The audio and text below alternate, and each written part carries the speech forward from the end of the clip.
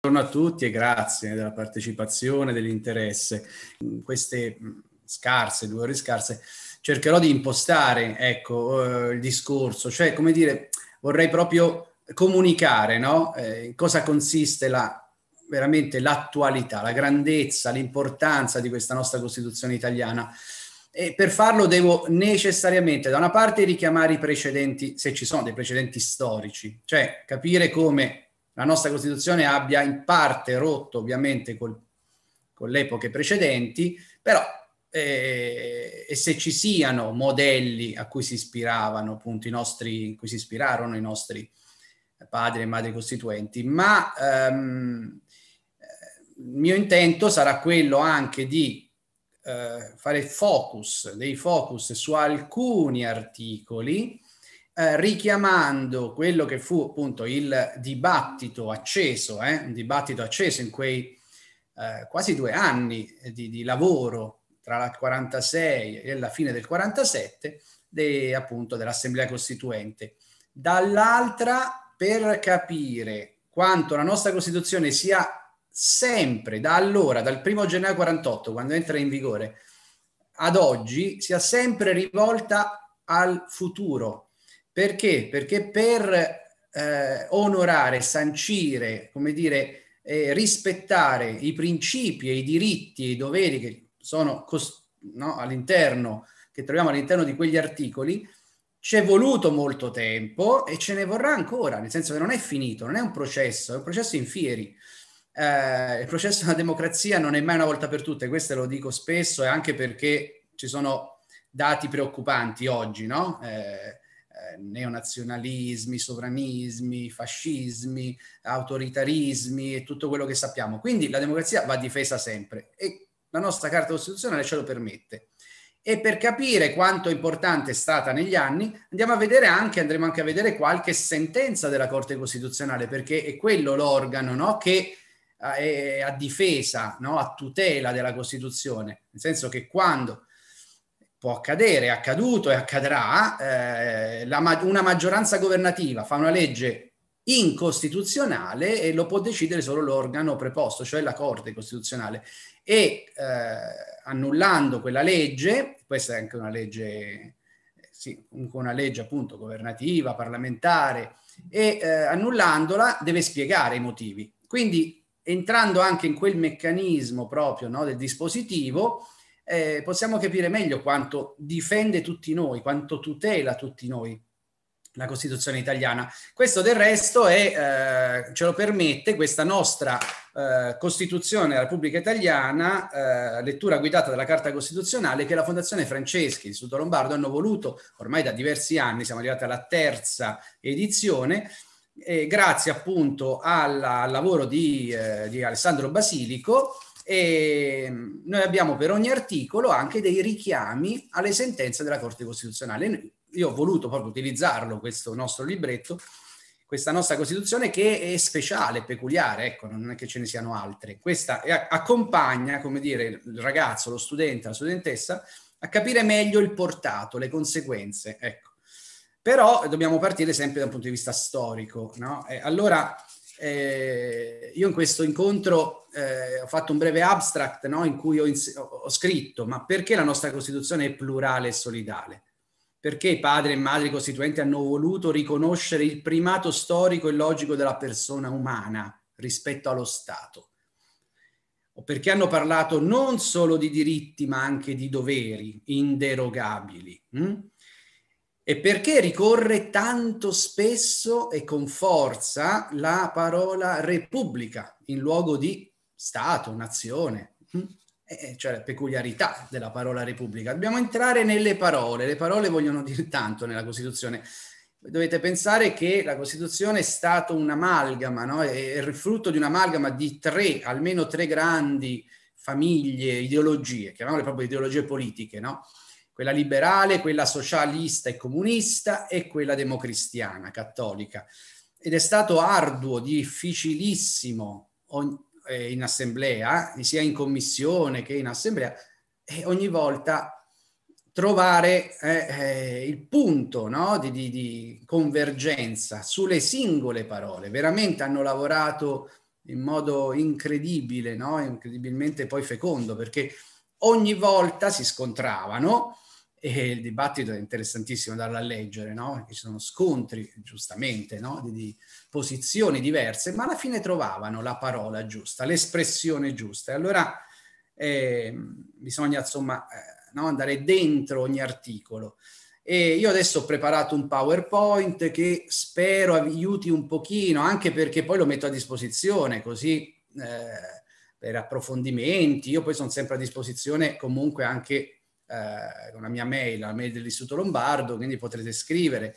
E, perché mi rendo conto che dirò molte cose e quindi che non potrò approfondire tutto, ovviamente, in meno di due ore. Quindi eh, partiamo dal, mm, non so, io sono andato a rileggere una, un interessante articolo di Paolo Grossi, no? Eh, Paolo Grossi è un ex giudice della Corte Costituzionale e giustamente mm, pone con forza, poneva insomma qualche tempo fa, no? con forza il fatto che la nostra sia una Costituzione novecentesca. Allora, eh, la settimana scorsa la collega Deborah Migliucci ha fatto un'ottima, importantissima lezione dallo Statuto Albertino alla Costituzione italiana, quindi ha fatto capire tutti i passaggi. Ora erano altre classi, però come diceva Luca, voi potete andarvela a risentire e sarebbe molto utile perché, come dire, la prima parte. Hm? Oggi io invece entro nel merito della nostra Costituzione italiana, appunto della, del 48. Però eh, Deborah Migliucci faceva presente da dove, no, da dove, era partito il pensiero costituzionale, cioè dalla Costituzione americana, poi francese, c'è il costituzionalismo ottocentesco e poi si arriva al XX secolo. E c'è una netta, una netta, eh, come dire, eh, discontinuità. Mm? Uh, in che senso? La nostra quindi è una Costituzione novecentesca. Intanto apro il... Eh, ecco, vi faccio... Aspettate. Comincio a mh, mm, condividere lo schermo in modo che possiate cominciare a vedere, ecco, si vede, vero, la Costituzione italiana? Sì, mm, ok. Sì, si vede. Ok, benissimo. Io metto in alto invece il riquadro, che così non dà fastidio. E, ehm, ok. E, uh, la nostra è una Costituzione, quindi abbiamo detto, uh, novecentesca. Mm? Novecentesca si differenzia rispetto ovviamente a quelle, appunto, a quelle sette ottocentesche, perché? Uh, perché c'è, eh, proprio perché indicato espressamente, sono indicati e sono prevalenti quasi, hanno una forza, i diritti, oltre ai diritti civili, anche quelli sociali sociali e quindi anche economici. E, ehm, quindi eh, in Italia, la, no, nel 48, questa neonata Carta Costituzionale è in perfetta coerenza col pluralismo sociale, no, finalmente ritrovato. Come dire, eh, rappresenta l'affermazione di un pieno pluralismo anche a livello giuridico. Mh? E quali sono? Ci sono dei modelli precedenti? Quindi abbiamo detto non può essere solo il modello della Costituzione francese, la carta no, eh, declarazione francese, la, declarazio, la, dichiarazione dei principi. Non può essere ovviamente lo statuto. Lo statuto dovete pensare che eh, parlava di regnicoli, no? i regnicoli erano i sudditi di fatto no? del regno e aveva solo, se non sbaglio, 7-8 articoli sui diritti civili, diritti di libertà classici, dopodiché tutto il resto della, dello statuto albertino era una, uno statuto no, eh, concesso dal sovrano, prevedeva invece tutte le varie articoli sulla casa regnante. Eh, noi invece abbiamo una Costituzione di 139 articoli in cui tutta la prima parte, eh, fino all'articolo 54, eh, riguarda proprio i diritti e i doveri dei cittadini e del, di tutta, insomma, degli italiani e non solo, perché in alcuni casi si parla di uomini, in altri di cittadini, anche lì bisogna fare la eh, giusta di, di, distinzione. Quindi Ehm, l'unico precedente è la Costituzione di Weimar no? del 19 in Germania. Ehm, la Costituzione di Weimar ha, una, appunto, ha una, eh, un impianto già di questo tipo. La Costituzione della Repubblica Romana. E vedete, la Costituzione della Repubblica Romana era del 1849, effimera, lo sapete, non entrerà mai in vigore, viene sconfitta la Repubblica Romana di Mazzini, ma però quei principi fondamentali rimangono, rimangono il prodotto, voglio dire, di quel mh, fenomeno appunto del, eh, del processo risorgimentale eh, sono ben presenti nella, nella mente no, di, di, molti nostri eh, costituenti. Eh, per la prima volta si parla di sovranità per diritto eterno nel popolo, la sovranità nel popolo, risiede nel popolo. Si parla di eh, uguaglianza, libertà, fraternità, questo ovviamente richiama i francesi, richiama la dichiarazione, ma eh, soprattutto dice che la Repubblica promuove il miglioramento delle condizioni morali e materiali di tutti i cittadini.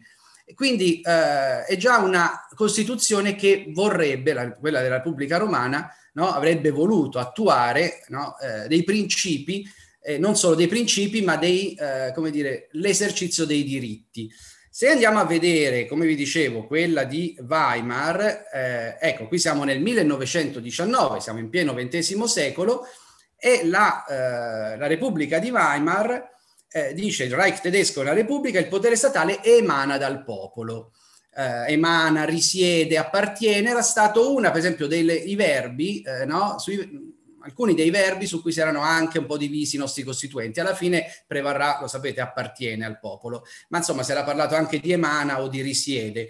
Ma quello che è importante è che il eh, potere statale sta per sovranità, no? evidentemente in questo caso il potere statale emana dal popolo e la Repubblica di Weimar, la, la Carta di Weimar ha diverse nella seconda è invertita, tutta la prima parte riguarda l'istituzione, le istituzioni, la composizione diciamo del Parlamento, del Reichstag, del Reichsrat, ma nella seconda parte invece ci sono i diritti e eh, i doveri e, eh, e, abbiamo appunto uomini e donne hanno di regola gli stessi diritti e doveri civici, eh, la vita collettiva, non si era mai parlato prima di vita collettiva, di diritti collettivi, diritti sociali per l'appunto.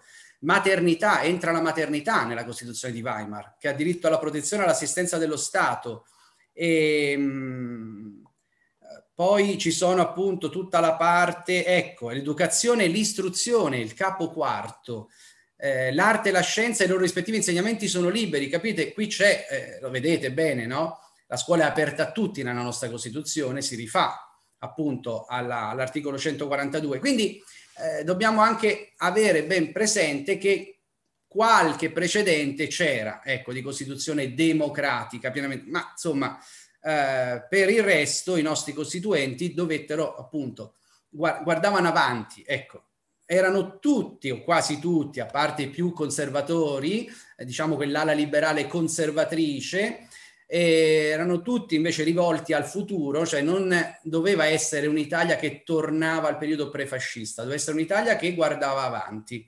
Mm?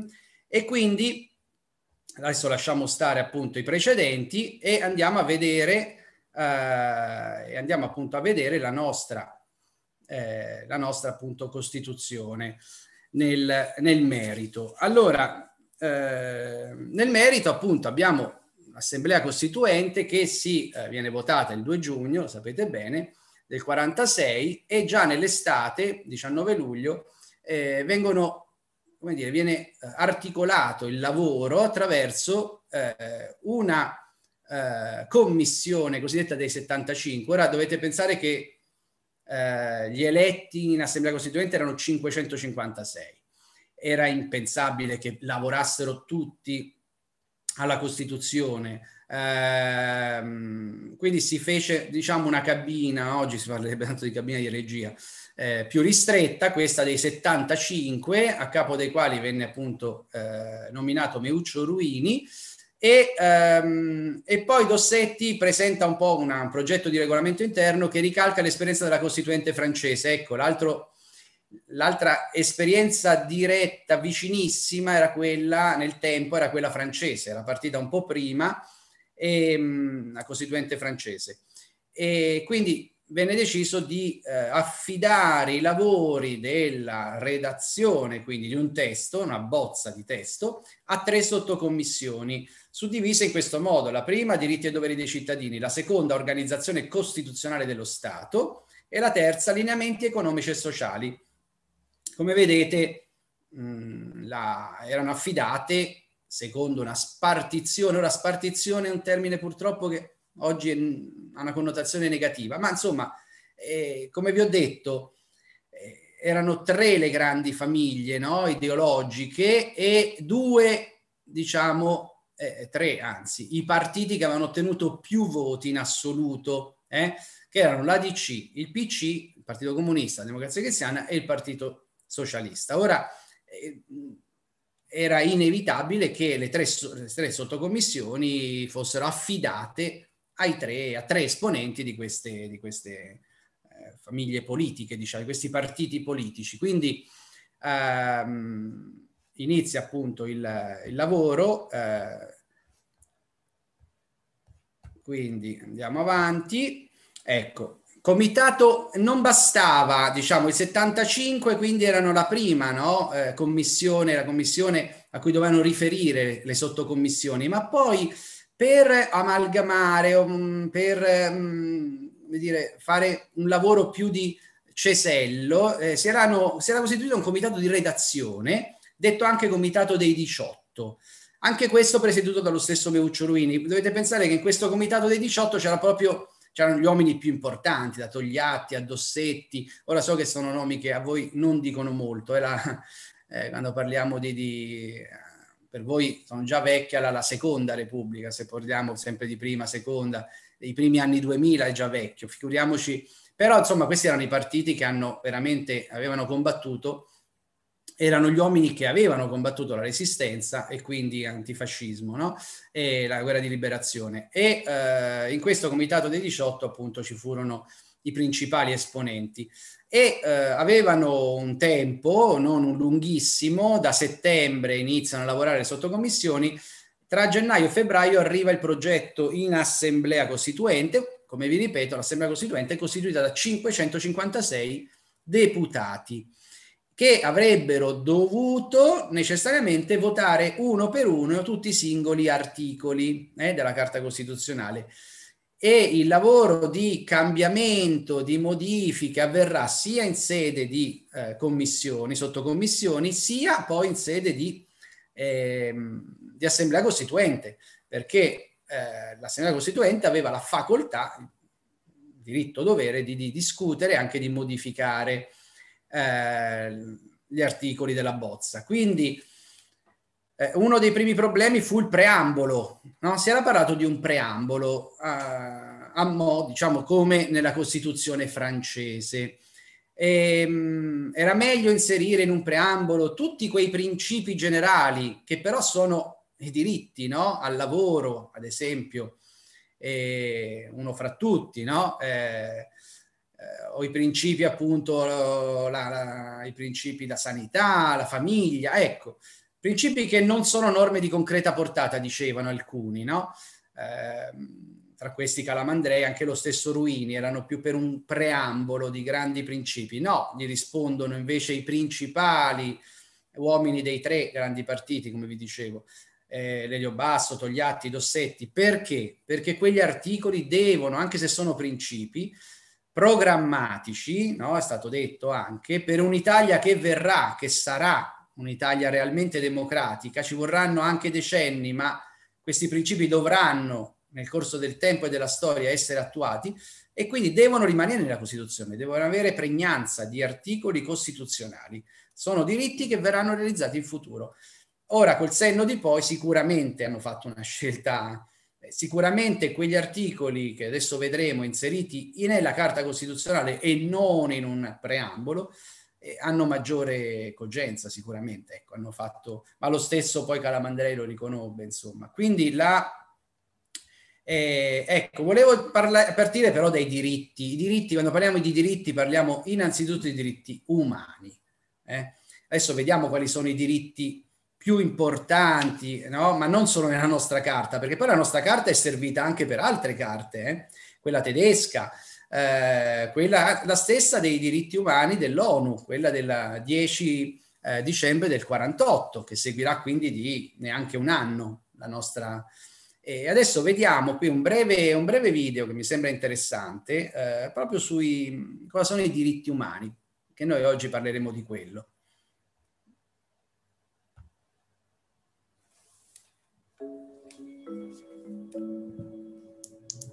Human rights is um, think That's a good question. Human rights.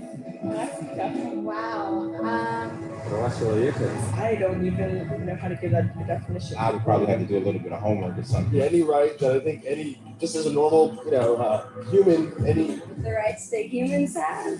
Oh, Uh, that's a very large debate. Mr. Tonight, Sí, te, tú le puedes preguntar a 20 personas y te van a dar 20 diferentes op- opiniones. Non saprei, è una domanda complicatissima. Some cases that that we should take it for granted that they're there, but we don't even consider what they are.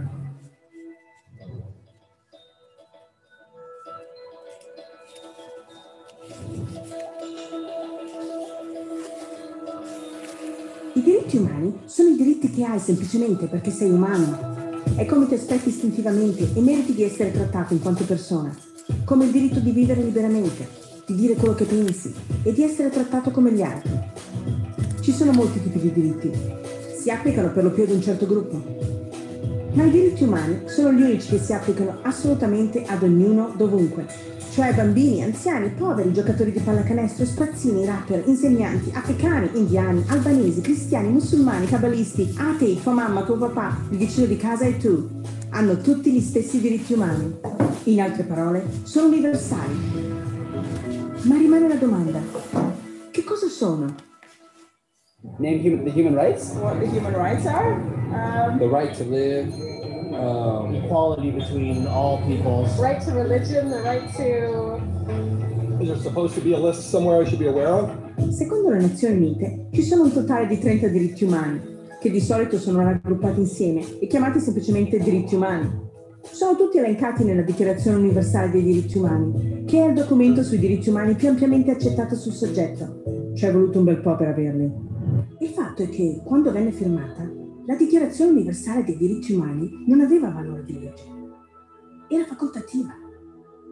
E nonostante molti altri documenti, convenzioni, trattati e leggi, non è ancora oggi che poco più di alcune parole su una pagina.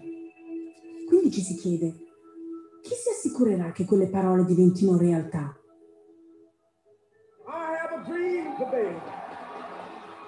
Quando il dottor King ha marciato per l'uguaglianza razziale, ha marciato per i diritti che erano stati garantiti dalle Nazioni Unite per quasi due decenni. Eppure ha marciato.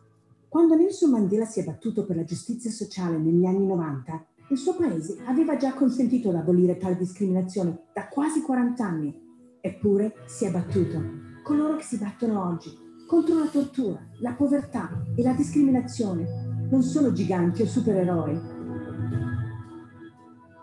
sono persone, bambini, madri, padri, insegnanti, individui che pensano liberamente e che si rifiutano di rimanere in silenzio, che si rendono conto che i diritti umani non sono una lezione di storia, non sono parole su una pagina, non sono discorsi, annunci pubblicitari o campagne di relazioni pubbliche. Sono le scelte che facciamo ogni giorno come esseri umani. Sono una responsabilità che tutti condividiamo, di rispettarci a vicenda, di aiutarci a vicenda e di proteggere quelli nel bisogno. Come ha detto Eleanor Roosevelt, dove cominciano dopo tutto i diritti universali umani? In piccole località, vicine a casa, così vicine e così piccole che non si possono vedere su nessuna mappa del mondo. Eppure sono il mondo della persona stessa, il vicinato in cui vive, la scuola o l'università che frequenta, la fabbrica, la fattoria o l'ufficio in cui lavora. Sono questi i luoghi in cui ogni uomo, donna e bambino ricerca uguaglianza di giustizia, di opportunità e di dignità senza discriminazione. A meno che tali diritti abbiano peso in tale contesto, avranno pochissimo peso da qualsiasi altra parte.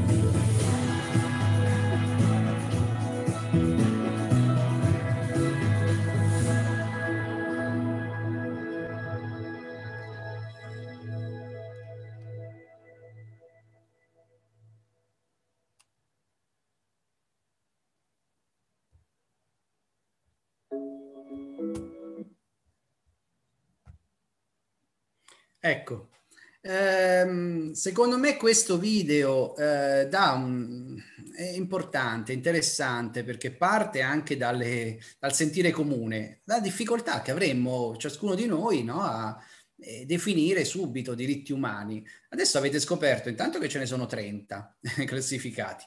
E comunque la cosa più importante secondo me in questo video è proprio il fatto che, come diceva Eleanor, eh, Roosevelt, eh, che adesso vedremo perché è stata veramente una, una importantissima donna, e, e, grazie anche alla sua tenacia, ecco, che si è arrivati poi a, nel 10, il 10 dicembre del 48 a sancire questa carta così importante. Però eh, quello che è importante capire da, in questo video è che è solo dallo sforzo, dalla collaborazione, dalla cooperazione di tutti noi, tutti gli esseri umani, che possono attuarsi i principi e i diritti che sono scritti nella carta sia dell'ONU e sia nella nostra Costituzione, ma così l'avevano inteso i nostri padri e madri costituenti, un lavoro no, di responsabilità da fare tutti insieme. Quindi nelle pieghe di ogni articolo, noi troviamo, di tanti articoli, troviamo proprio questo carattere plurale, per questo io ho detto plurale, no, ho voluto mettere insomma l'accento, è plurale e solidale, perché altrimenti, come dire, la stessa libertà, che è uno dei diritti forse più importanti, no? secondo molti di, molte persone, giustamente, eh, rimane, eh, rimane appunto un diritto, libertà la si può intendere in vari modi, ecco. Ehm, quindi ehm, partiamo appunto, adesso vediamo, vediamo, i vari articoli, poi eh, farò altri, diciamo, altri insert ehm, che possono aiutarvi un po' per alleggerire la parte dottrinaria, diciamo così, e un po' anche per stimolarvi no? stimolare in voi qualche, magari io quello che spero, anche qualche domanda. Eh? Vi lascerò poi alla fine un po' di tempo o se arriveranno domande, insomma, via chat. Mi piacerebbe molto, ecco. Il mio intento è quello di, di stimolare in voi una discussione, una, una, come dire, dei dubbi, hm? dubbi o appunto opinioni, giudizi. Allora, eh, mi è sembrato anche importante eh, parlare anche di Costituzione, accennare almeno alla Costituzione cosiddetta materiale, no? Eh, questo è un termine che, che, appunto acquisì grande fortuna a partire dalla teorizzazione che ne fece Mortati. Costantino Mortati è stato uno dei, eh, dei insomma, costituzionalisti allora dei, appunto in assemblea costituente e all'interno della, delle sottocommissioni molto importante. Era un giurista giovane ma eh, che aveva insomma eh, ben chiaro no? verso dove doveva, come, come, come, avrebbe dovuto poi svilupparsi, ecco, nella nuova Repubblica Democratica, come avrebbero dovuto poi svilupparsi i diritti. E quando parliamo di Costituzione formale, no? facciamo riferimento all'insieme delle norme e dei principi contenuti nella nostra carta. Il documento scritto, nel nostro caso sono 139 articoli. Quella materiale e ehm, si tratta dell'applicazione e da parte delle forze politiche dei principi enunciati nella Carta, cioè i nostri costituenti sapevano bene che dal momento in cui sarebbe entrata poi no, eh, in vigore la Carta Costituzionale, poi ci sarebbero stati maggioranze diverse, maggioranze più conservatrici, maggioranze più progressiste, e, e, che ciascuna maggioranza eh, andata al governo avrebbe poi fatto delle leggi capite? Ci avrebbe, come dire, piegato in qualche modo no? eh, eh, la carta eh, secondo propri, la propria ideologia. Quindi ehm, io faccio un esempio, no? la, la, eh, l'articolo 1 no? si apre con la seguente espressione, l'Italia è una Repubblica Democratica fondata sul lavoro. E sappiamo fin dall'inizio era stato detto, ma come? Sì, certo che per noi è importantissimo, così come l'articolo 4, il diritto al lavoro. Eh, ma il diritto al lavoro dovremmo essere in grado di non avere più disoccupati per onorare un articolo del genere, no? Sarà difficile realizzarlo. Allora c'erano milioni di disoccupati, ma anche oggi non stiamo messi meglio. Ecco.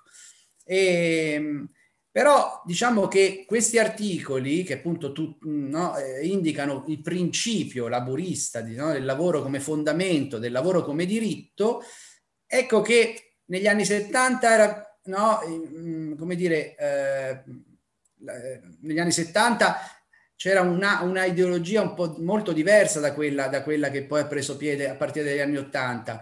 Eh, quindi ci furono leggi molto più attente eh, molto più attente a, diciamo, alla, alla collettività, alla, mh, al mondo operaio, pensiamo solamente all'importantissimo Statuto dei lavoratori del 69, la tutela della proprietà veniva sì intesa, ma in maniera più restrittiva di oggi. Mh?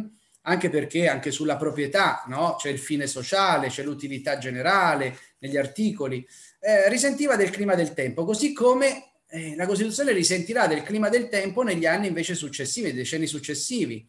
E ci saranno periodi di eh, politiche più interventiste, no? Nazio- no? più interventiste, politiche pubbliche, promozione di diritti sociali. Pensate, gli anni 70 furono un periodo, un decennio incredibilmente fecondo. Eh, fu rivisto il diritto di, di famiglia del 75 finalmente, no?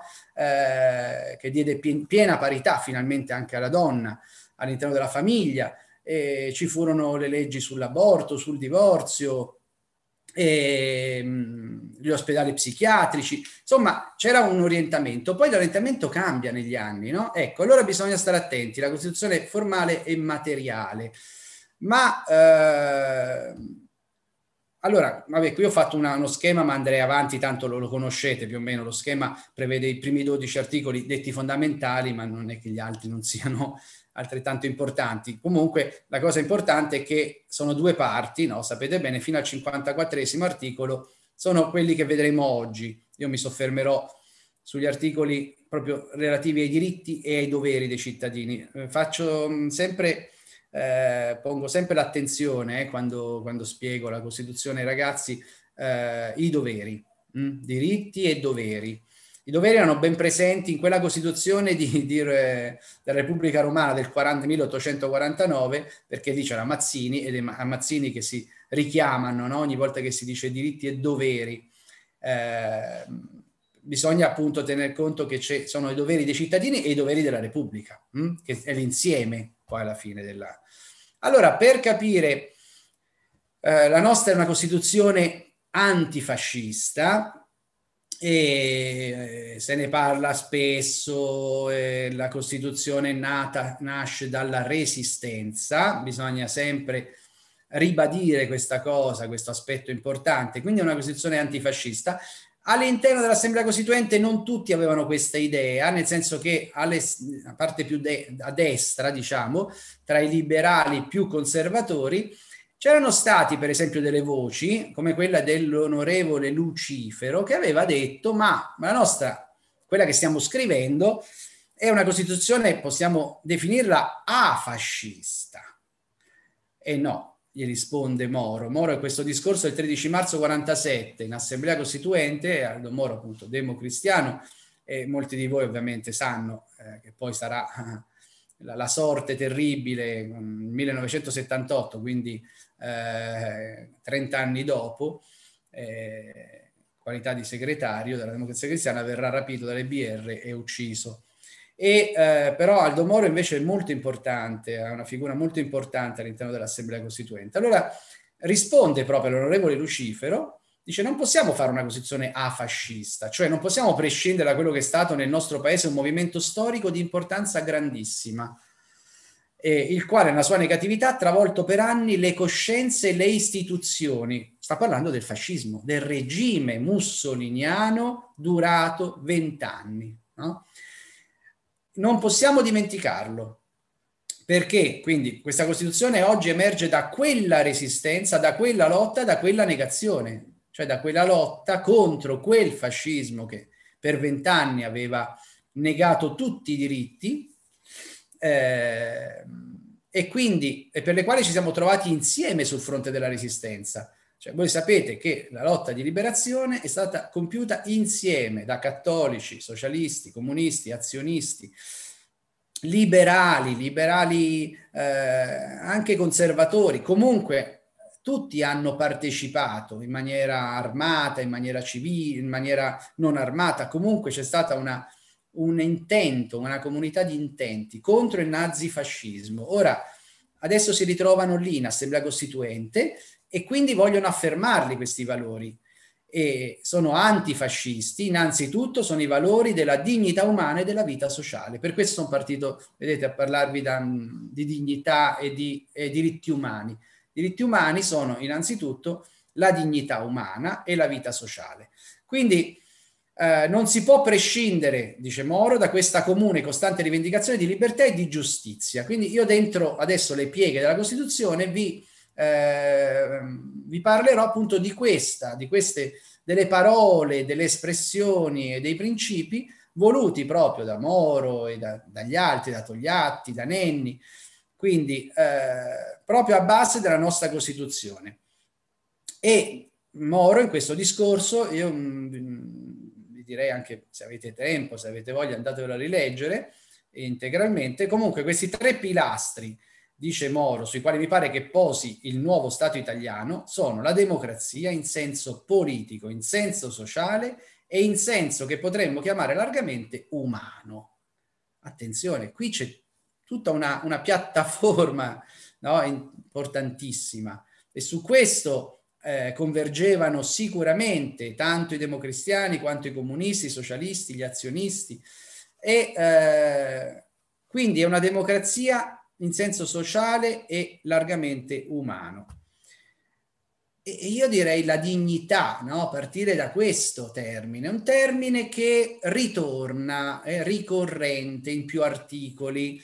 Anche un altro esercizio che potreste fare, molto interessante, è l'occorrenza no? delle parole all'interno della carta.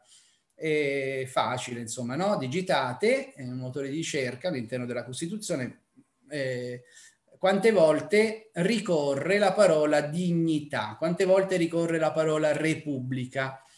E allora, passiamo, qui c'è Togliatti, ho voluto sì, richiamare un altro, ovviamente esponente questa volta del Partito Comunista, segretario del Partito Comunista, Togliatti sottolineava con forza la confluenza in atto di due grandi correnti, quella socialcomunista e quella cattolica, che in nome della dignità della persona umana si riconoscono nella nuova concezione del mondo economico, non individualistica né atomistica, ma fondata sul principio della solidarietà e del prevalere delle forze del lavoro e nei nuovi limiti da porre al diritto di proprietà. Qui c'è un'altra eh, importantissima, quindi sottolineatura, eh, attenzione, dignità della persona umana e per affermarla con forza questa dignità della persona umana non si può non rivedere, non, come dire, ah, non rivedere, non aprire a una nuova concezione del mondo economico. Mm? Allora, dignità troviamo nell'articolo 3, tutti i cittadini hanno pari dignità sociale. Vedete, ritorna dignità spesso associato con la parola, con l'aggettivo sociale, dignità sociale, e sono uguali, no? Nella, di fronte alla legge senza distinzioni di, lo sapete a memoria, spero, l'articolo 3, spero lo sappiate a memoria. Nell'articolo 36 il lavoratore ha diritto a una retribuzione proporzionata sufficiente ad assicurare a sé e alla sua famiglia un'esistenza libera e dignitosa. E oggi stride, oggi, ieri, ma oggi forse si è aperta, si è aumentata questa forbice, no? Tra i ricchi, sempre più ricchi, e chi, il ceto medio che si va impoverendo e, e stipendi che spesso non permettono l'esistenza libera e dignitosa. Allora voi potreste dirmi, vedi, professore, ma eh, lì c'è l'articolo 36, però poi c'è la realtà. Però c'è l'articolo 36, cioè comunque in nome dell'articolo 36, no? Eh, quindi è come dire, come, se, come vi ho detto fin dall'inizio, questa è una posizione che guarda sempre al futuro. Quindi in, in, per l'attuazione di questi principi le forze politiche sono chiamate a, a, a fare leggi, no? a intervenire. E, ehm, e nell'articolo 41 l'iniziativa economica privata è libera, quello è un caposaldo no? Della, delle costituzioni ottocentesche, eh? l'economia, l'iniziativa economica, i diritti di proprietà. Hm? Però eh, i nostri costituenti hanno aggiunto non può svolgersi in contrasto con l'utilità sociale o in modo da recare danno alla sicurezza, alla libertà, alla dignità umana. Pensate che qualche anno fa, questo è per quando parliamo di posizione formale e, e poi sostanziale e, e, materiale, qualche anno fa hanno tentato mh, hm, delle forze politiche, diciamo più orientate a destra, di togliere, si era iniziato un dibattito, diciamo, no? per eliminare il, l'espressione utilità sociale dall'articolo 41 perché qui si parla in questi articoli relativi all'economia, 41, 42, 43, eh, ricorre no, la funzione sociale, l'utilità, l'utilità sociale, i fini sociali, lo volevano eliminare. in nome di questo liberismo, neoliberismo, che sapete che è un po' la cifra, insomma, no? da un quarantennio a questa parte, le, l'età neoliberista. Mh? E eh, lì è rimasto però, eh, non ce l'hanno fatta, ecco, e, a mio avviso è un bene, poi ognuno può pensarla come vuole. Però, ehm, però questo è per farvi capire com'era importante, no? Eh, sì, sancire la libertà ovviamente economica privata, ma attenzione, eh, ribadire invece, anzi affermare, perché la prima volta viene affermata in una carta costituzionale, l'utilità sociale della stessa economia. E nell'articolo 48, anche lì, troviamo lì, qui lo troviamo in senso negativo, la, dalla dignità passiamo all'indegnità, cioè il diritto di voto non può essere limitato se non nei casi di indegnità morale indicati dalla legge. Ecco. Um, la dichiarazione, la dichiarazione appunto dei diritti, eh, il preambolo, eh, considerato che il riconoscimento, vedete, la dignità, questo è eh, la dichiarazione dei diritti umani, è quella appunto del 10, eh, del 10 dicembre del 48, eh, volevo farvi solamente notare, accenno e basta, ma a questa carta che è importantissima, carta dell'ONU, eh, che anche pre- ah, loro hanno sì un preambolo. Preambolo è considerato che il riconoscimento della dignità inerente a tutti i membri della famiglia umana e dei loro diritti uguali e inalienabili costituisce il fondamento della libertà, della giustizia e della pace nel mondo. Eh? Quindi a- alla base di questi diritti c'è il riconoscimento della dignità. E l'articolo 1, tutti gli esseri umani nascono liberi uguali in dignità e diritti e l'articolo 2 ad ogni individuo spettano tutti i diritti e tutte le libertà enunciate nella presente dichiarazione, senza distinzione alcuna di razza, di colore, di sesso, di lingua, di religione, di opinione politica, di altro genere. Qui qua, proprio quasi ricopiata dal nostro articolo 3. E, ehm, ecco, volevo appunto adesso farvi eh, notare come eh, ricorra un altro termine che ricorre eh, è quello di repubblica. Quando noi parliamo di diritti, e parliamo anche di doveri, eh, bisogna appunto intendere chi garantisce, chi tutela questi diritti e chi impone no, il rispetto anche, no, l'assolvimento dei doveri. Allora, la scelta del Comitato dei 18, torniamo a quello dei 18, di utilizzare il termine Italia in luogo di Stato italiano, intanto. No? Il primo articolo, l'Italia è una repubblica democratica. E l'aveva spiegato Mortati, eh? rifletteva questo il proposito di dichiarare l'identità etnica e l'unità spirituale della nazione in nome della quale ebbe ad effettuarsi il processo di unificazione. No? Il termine Italia era l'insieme no? degli italiani intesi come, eh, come un'identità. Mm? Eh, lo Stato italiano richiama più all'ordinamento, mm? quindi si sceglie Italia e così mentre si intese riservare il termine Stato alla designazione di quella sola parte dell'ordinamento complessivo. Lo Stato lo ritroveremo molto nella seconda parte della Costituzione, cioè l'apparato centrale, le diramazioni periferiche, eh, via dicendo, no? gli enti locali, eh, ecco, quello lo Stato come apparato, come ordinamento eh, istituzionale.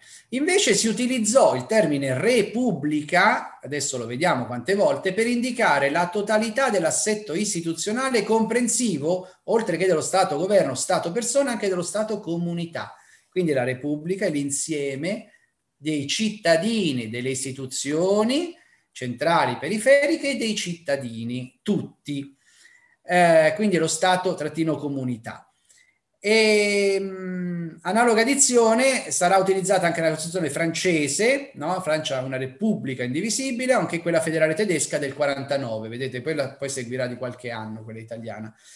E l'identificazione dell'Italia con la Repubblica era tesa ad affermare il momento unitario che raccoglie in sé le molteplici articolazioni di cui l'ordinamento si compone, sancendone l'indivisibilità, come affermato nell'articolo 5, il quinto articolo, l'indivisibilità dell'Italia, che però riconosce le autonomie, molto importante.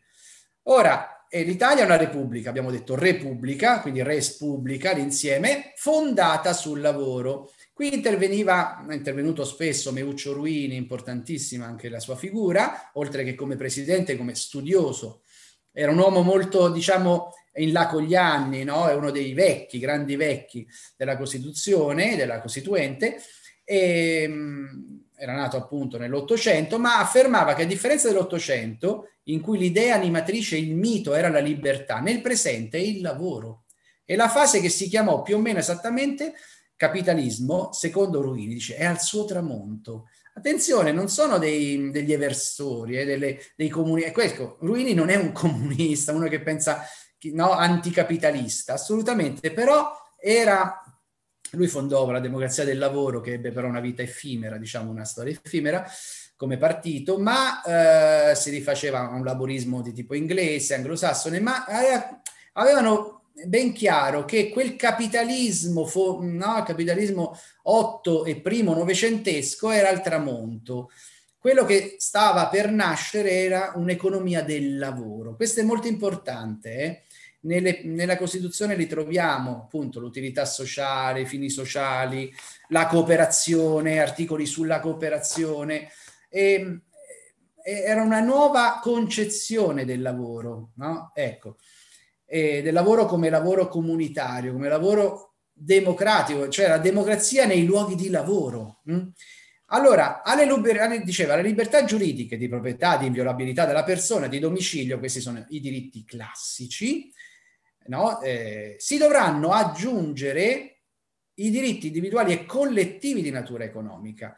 Ora, se sono diritti collettivi, implicano una necessaria azione dello Stato verso inevitabili compiti di regolazione e di guida e su questo anche qualche dibattito e diciamo polemica era nata, era sorta durante l'Assemblea Costituente tra chi ad esempio, ne dico una sola, non voleva sentir parlare di piano. Piano, eh, piano vuol dire programma, programmazione perché veniva in mente il piano quinquennale sovietico, no? eh, attuato da, appunto da Stalin, i diversi piani quinquennali.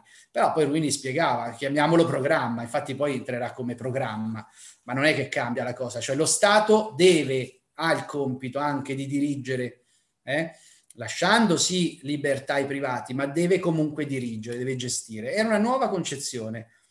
Ora, eh, la libertà, quando parliamo di libertà, eh, dobbiamo intenderci. Io, mm, non so, sono andato a rivedermi, ecco, la, il discorso sullo Stato dell'Unione di Roosevelt, questo è Roosevelt presidente, poi c'era Roosevelt la moglie, Eleanor, ma Roosevelt nel 41, eh, siamo in piena guerra mondiale, gli Stati Uniti non sono ancora entrati in guerra, siamo all'inizio, il 6 gennaio, però fece un discorso che rimane, insomma, una pietra miliare, no? quello in cui prefigura alcuni temi della Dichiarazione universale dei diritti dell'uomo. Hm? Cioè eh, parla di quattro grandi libertà, la libertà di parola e di espressione, la seconda la libertà di ogni persona di rivolgersi a Dio a suo modo, quindi la libertà religiosa, e questa guardate che è molto importante, anche noi abbiamo ovviamente gli articoli, il 6 e anche il 7, insomma sulla libertà ovviamente religiosa. Lo sappiamo oggi eh, quanto è importante oggi in periodi storici, questo periodo storico in cui invece eh, sono poi eh, tornate no? guerre, non dico di religione, ma insomma sulla base di, di fedi diverse. La terza è la libertà dal bisogno. La libertà dal bisogno, vedete, se eh, parliamo di libertà dal bisogno, e la nazione, in questo caso la Repubblica, lo Stato, dovrà intervenire. È impensabile, no? Perché non partiamo tutti dalle stesse basi, dagli stessi punti di partenza, non sono tutti medesimi punti di partenza, rimangono le famiglie ricche, le famiglie medie, le famiglie povere, quindi in ogni Stato. Allora libertà dal bisogno, sapeva bene Roosevelt che la libertà era insieme, era collegata alla libertà dalla paura. La libertà dalla paura allora era libertà anche che Roosevelt addirittura si porta avanti, dice prevedere una riduzione mondiale degli armamenti questo sappiamo che non sarà così, anzi che la stessi Stati Uniti, ma dopo la morte di Roosevelt nel 1945 con Truman, addirittura gli armamenti non solo non, eh, non, li smantellano, ma li utilizzano e riutilizzeranno la bomba atomica su Hiroshima e Nagasaki. Ora, su questo discorso della libertà volevo farvi sentire proprio una breve sequenza da un film che probabilmente non avete mai visto, ma non lo so, magari qualcuno sì, Easy Rider, un film che andava molto ai miei tempi. Eh, eh, su proprio, sono poche parole, ma secondo me significative.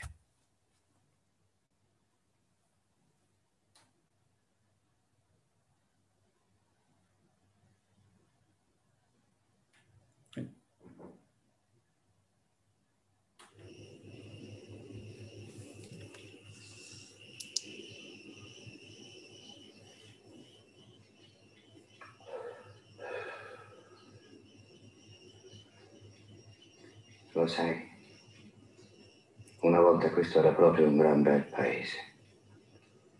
E non riesco a capire quello che gli è successo. È che tutti hanno paura, ecco cosa è successo. Noi non possiamo neanche andare in uno di quegli alberghetti da due soldi. Voglio dire proprio di quelli da due soldi, capisci? Credono che si vada a scannarli o qualcosa. Hanno paura. Sì, ma non hanno paura di voi. Hanno paura di quello che voi rappresentate. Ma quando? Eh, Per loro noi siamo solo della gente che ha bisogno di tagliarsi i capelli. Ah, no. Quello che voi rappresentate per loro è la libertà. Che c'è di male nella libertà? La libertà è tutto. Ah sì, è vero, la libertà è tutto, d'accordo, ma parlare di libertà ed essere liberi sono due cose diverse. Voglio dire che è difficile essere liberi quando ti comprano ti vendono al mercato.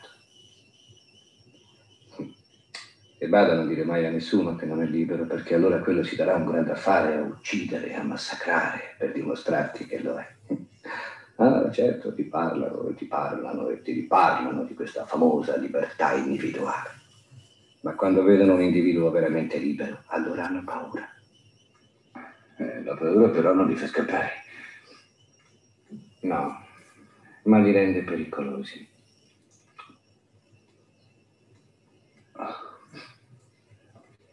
E avrei una domanda, perché secondo la sua opinione le riforme hanno un fascino incredibile per le forze politiche? Ogni maggioranza praticamente...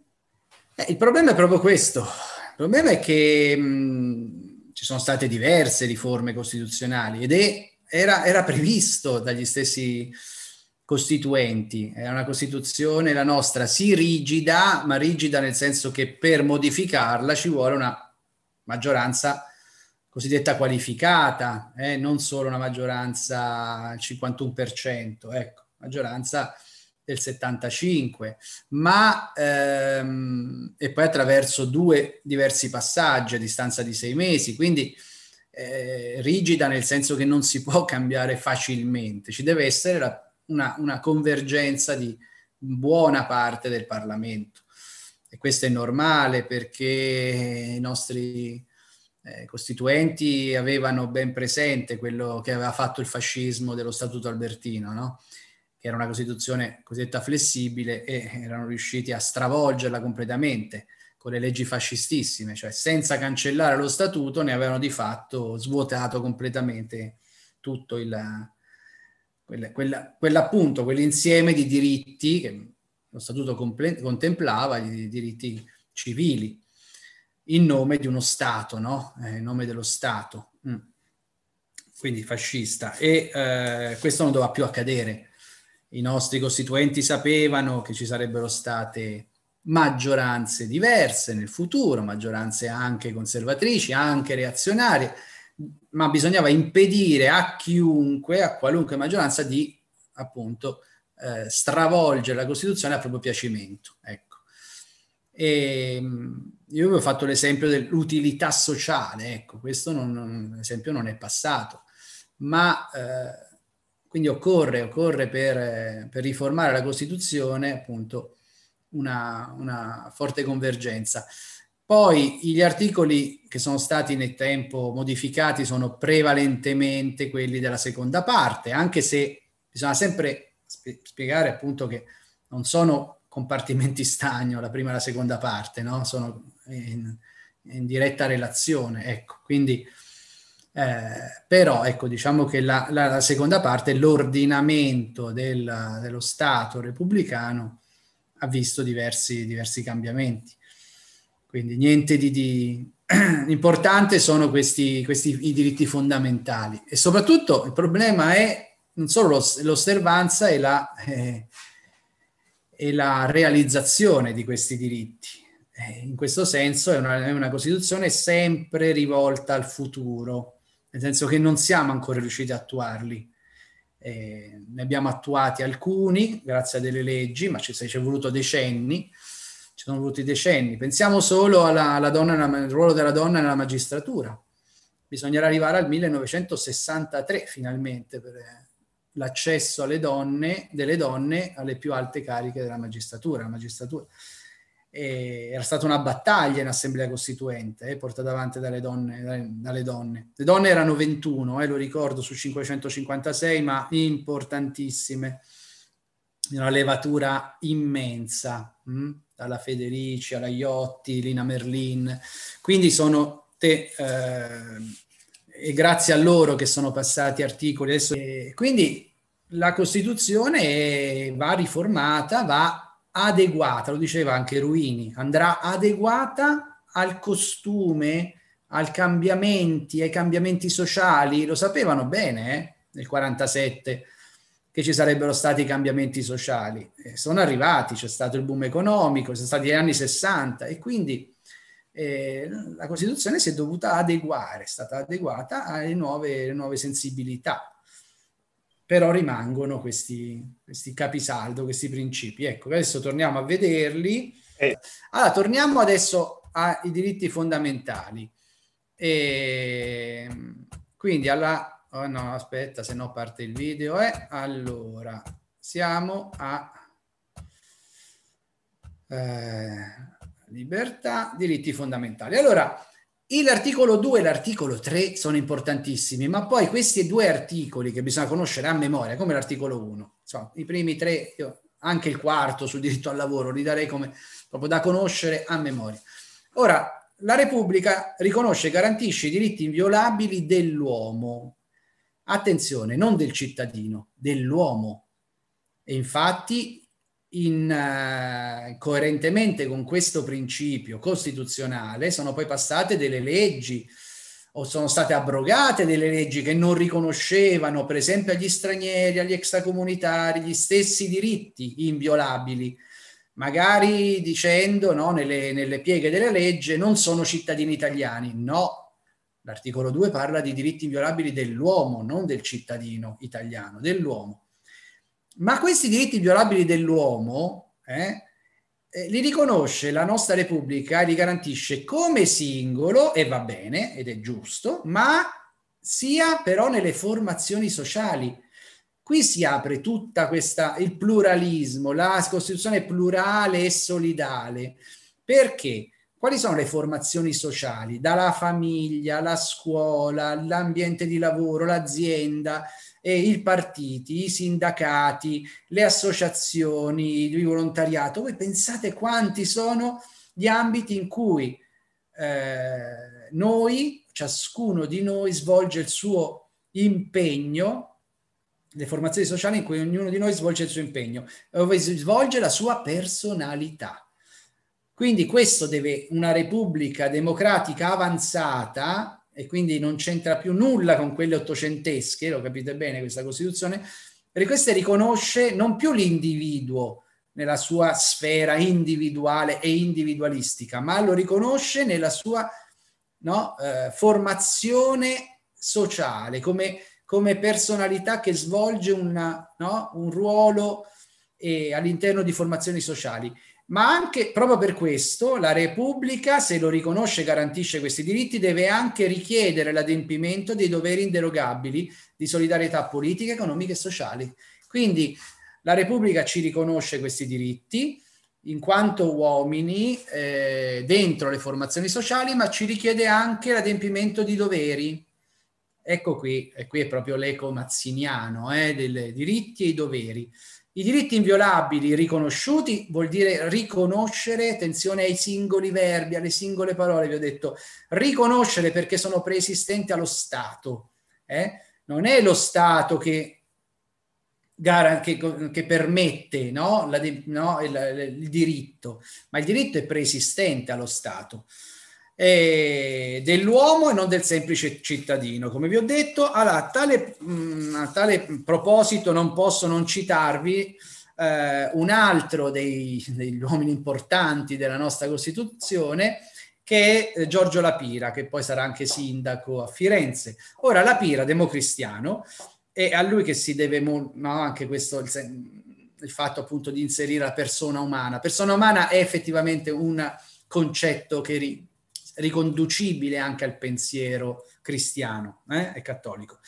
E però cosa diceva la Pira? La Pira diceva il primato storico e logico della persona umana rispetto allo Stato. Poi parlava di, eh, come dire, anche cerchi concentrici, no?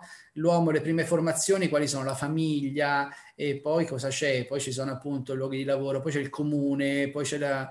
E quindi bisogna eh, riconoscere no? che l'uomo, cioè, l'uomo, è prima dello Stato. No? È una premessa decisiva questa, anteriorità rispetto allo stato della persona umana. L'uomo ha valore di fine e non di mezzo. Mm? Ha valore di fine e non di mezzo. Ora, per darvi un'idea della eh, quanto era importante per loro, no? per i nostri costituenti, che uscivano, vi ripeto ancora una volta, da vent'anni di fascismo e da una guerra civile devastante, dal 43-45, Pensiamo solo a quello che invece affermava Mussolini agli inizi, agli inizi della, di quella terribile eh, ventennio. Eravamo solo agli inizi. E a me interessa, insomma, mi sembra interessante anche eh, ogni tanto richiamare, eh, eh capire da dove eh, questa cesura, quanto doveva essere forte la Costituzione, quanto dovesse essere antifascista, altro che afascista.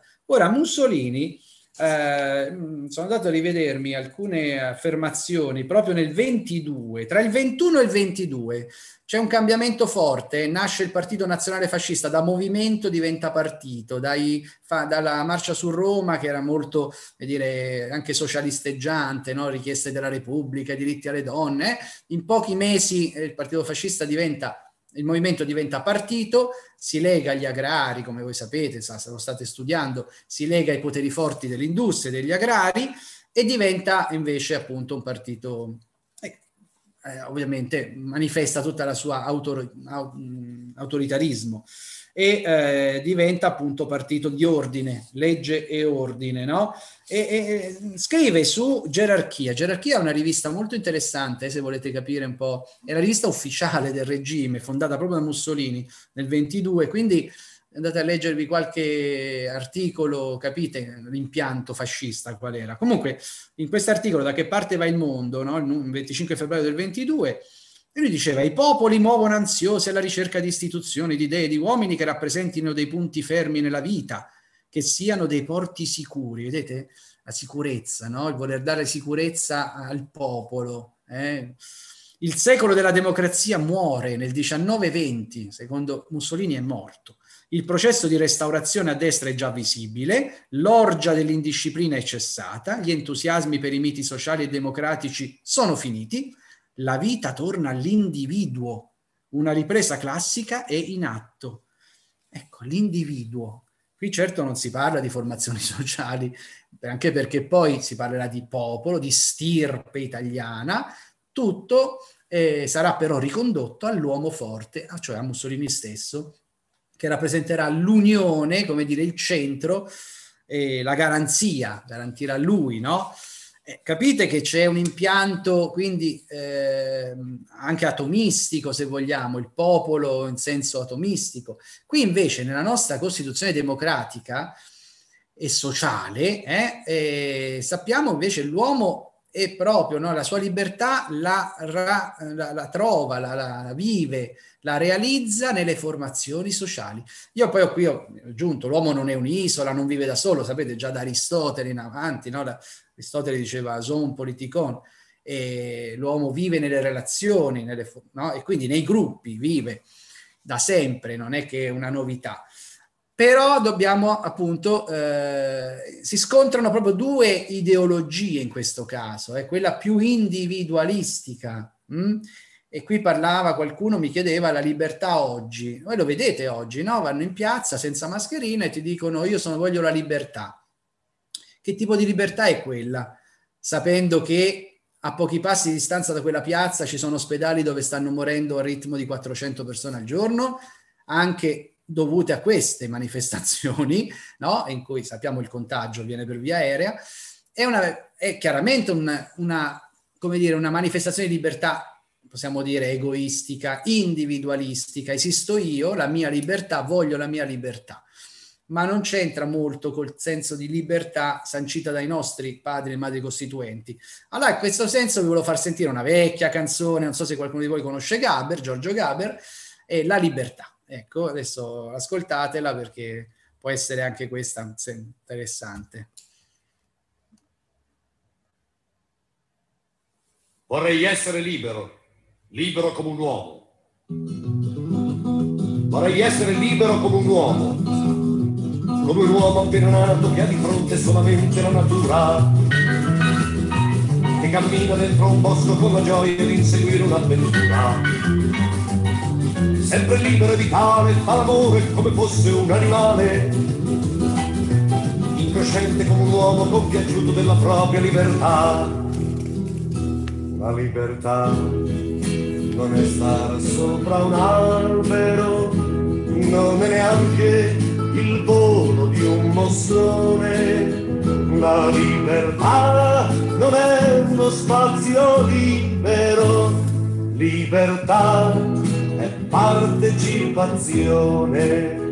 Vorrei essere libero, libero come un uomo, come un uomo che ha bisogno di spaziare con la propria fantasia che trova questo spazio solamente nella sua democrazia.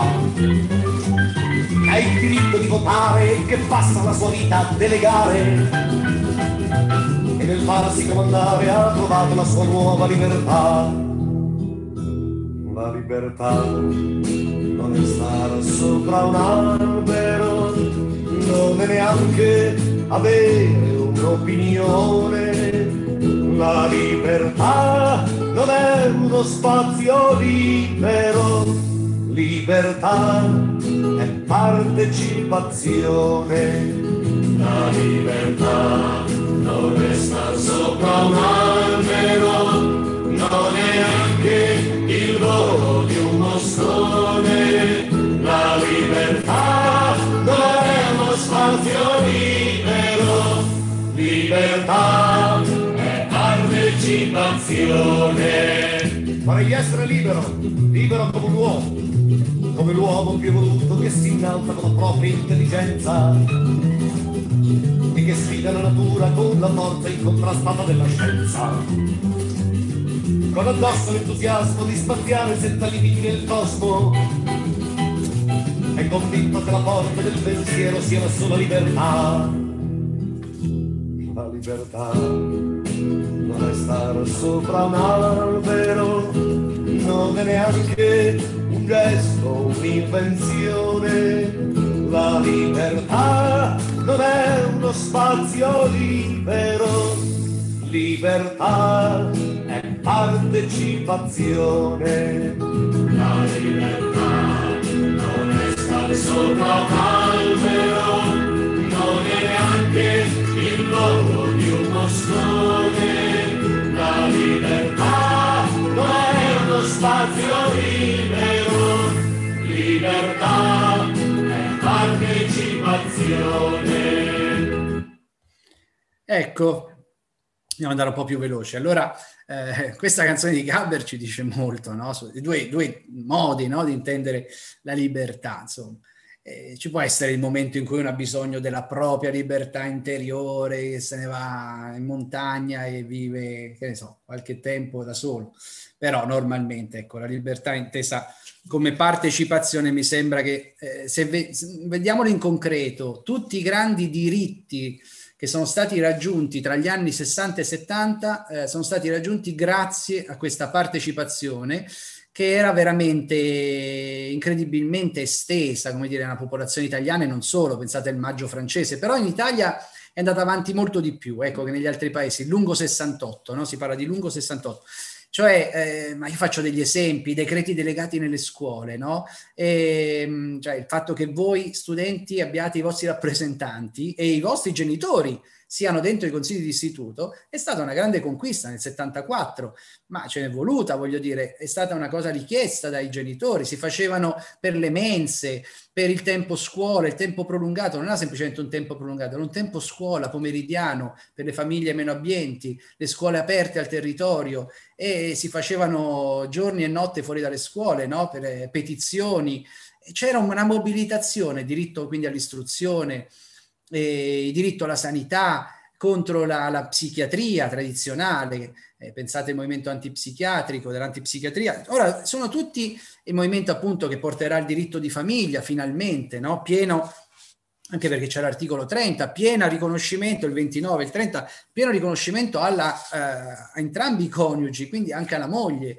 E, cioè, solo nel 75 arriverà la, la, modifica del decreto del diritto di famiglia, ma grazie a queste lotte, eh, la, la, il divorzio, l'aborto, veramente eh, era c'era la forte partecipazione, no? Ci si incontravano assemblee, assemblee di, all'interno delle aziende, delle grandi fabbriche, assemblee nelle scuole, i ragazzi che scendevano in piazza. Ora, eh, io mh, mm, vi richiamo mh, mm, velocemente, non so, un uomo come Norberto, uno studioso importante come Norberto Bobbio, che era molto chiaro, no? Quando Norberto Bobbio spiegava le differenze tra i, le diverse libertà nella storia, no? Eh, lui, in, in, uno dei suoi saggi più significativi, Politica e Cultura, scrive: Libero non è colui che ha un diritto astratto senza il potere di esercitarlo, bensì colui che oltre al diritto ha anche il potere di, esercitarlo.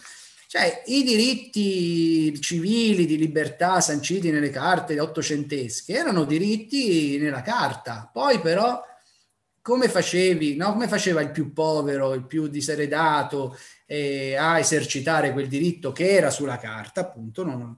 Quindi ehm, erano due tipi di libertà. Libertà negativa, la libertà negativa no? nel diciamo, dibattito politologico, no? del pensiero politico, si intende eh, quella situazione in cui il soggetto ha la possibilità di agire senza essere impedito, libertà da. Hm? o anche di non agire eh, senza essere costretto. Quindi libertà da, e sono le libertà proprio quelle classiche che eh, con la Costituzione americana, francese, la rivoluzione, no? hanno ottenuto gli uomini rispetto alla, ovviamente al potere sovrano, nel senso del sovrano, delle grandi monarchie assolutistiche. Quelle sono importantissime libertà, ma sono libertà negative, libertà da. Però poi intervengono le libertà di, le libertà positive, Libertà di però è, è, quando appunto un soggetto ha la possibilità di orientare il proprio volere verso uno scopo, cioè prendere delle decisioni e questo lo si fa insieme. Cioè, se vogliamo, le, le libertà negative è una libertà più individuale. Io sono libero perché nessuno mi costringe a fare una cosa. Ma nel momento in cui la libertà diventa positiva, è quella che chiamiamo autodeterminazione, no? autonomia, lo si fa insieme, no? negativa. E quindi eh, Ora, per farvi un altro eh, esempio, no? Don Milani. Don Milani negli anni 60 diceva bisogna avere le idee chiare in, di, in fatto di problemi sociali e, e politici, no? diceva. E, ehm, e diceva non c'è nulla che sia ingiusto quanto fare parti uguali fra diseguali. Su questo si aprirebbe una, un dibattito adesso che non abbiamo tempo, ma sarebbe molto interessante il discorso è non si possono fare no? eh, parti uguali fra diseguali, cioè si parte, esempio, da punti di partenza sono diversi. Quindi ehm, bisogna intervenire, questo è lo Stato interventista, lo Stato che no, deve garantire fattivamente che anche le parti più disagiate della popolazione possano quindi godere di quella libertà. Se no, uno ci può avere la libertà di morire di fame, beh, insomma, no? per dire, per, eh, eh, per assurdo. E, ehm, allora, io penso, qui ho fatto l'esempio, la libertà sindacale, la libertà sindacale è stata negata dal fascismo, il fascismo ha negato libertà sindacale e aveva subito, tra le sue prime leggi fascistissime, impedito la, lo sciopero, che è la prima forma, la forma forse più importante che hanno i lavoratori. Ora, perché tutto era centrato nello Stato. Hm?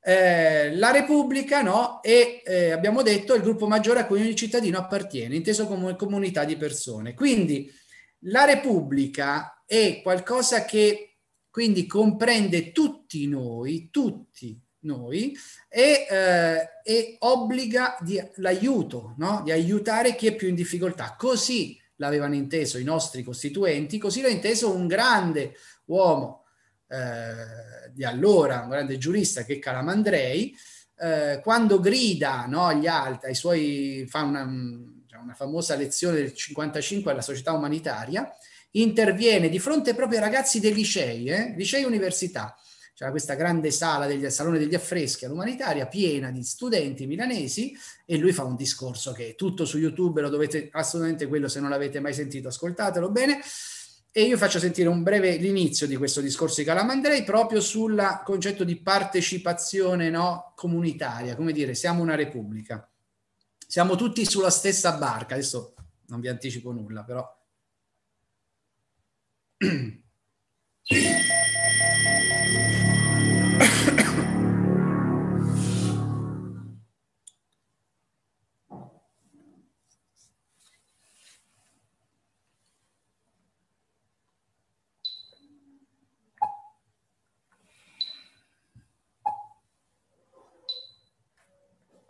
Costituzione non è una macchina che una volta messa in moto va avanti da sé. La Costituzione è un pezzo di carta, la lascio cadere perché non si muove. Perché si muova? Bisogna ogni giorno rimetterci dentro il combustibile. Bisogna metterci dentro l'impegno, lo spirito, la volontà di mantenere queste promesse, la propria responsabilità. Per questo una delle offese che si fanno alla Costituzione è l'indifferenza alla politica, un po' una malattia dei giovani, l'indifferentismo. La politica è una brutta cosa, che me ne importa della politica? E io quando sento fare questo discorso mi viene sempre in mente quella vecchia storiellina qualcuno di voi conoscerà, di quei due migranti due contadini che attraversavano l'oceano su un piroscafo traballante. Uno di questi contadini dormiva nella stiva e l'altro stava sul ponte e si accorgeva che c'era una gran burrasca con delle onde altissime e il piroscafo oscillava. E allora questo contadino, impaurito, domanda a un marinaio, ma siamo in pericolo e questo dice se continua questo mare tra mezz'ora il, il bastimento affonda. Allora lui corre nella stiva a svegliare il compagno dice beh, beh, beh, se continua questo mare tra mezz'ora il bastimento affonda. Quello dice che me ne importa, non mica mio.